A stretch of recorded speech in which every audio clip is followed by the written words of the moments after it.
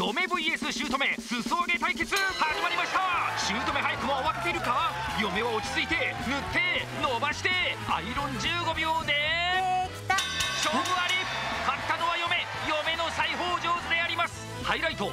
両面に塗って伸ばして折ってアイロン15秒でこの表情。姑悔しい。しかも水にも強い。さあ手芸店ホームセンターへゴー。